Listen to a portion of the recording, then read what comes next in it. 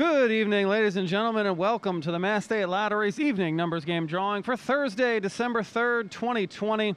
The Massachusetts State Lottery is inviting customers to participate in its fifth annual holiday toy drive to benefit the U.S. Marines Corps Reserves for Toys for Tots program.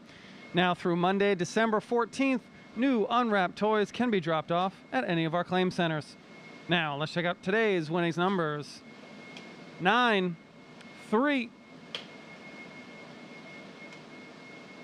9, 7. Once again, the winning evening number for Thursday, December 3rd, 2020 is 9397. We'll see you later tonight for the Mass Cash and Lucky for Life drawings. Good luck, everyone.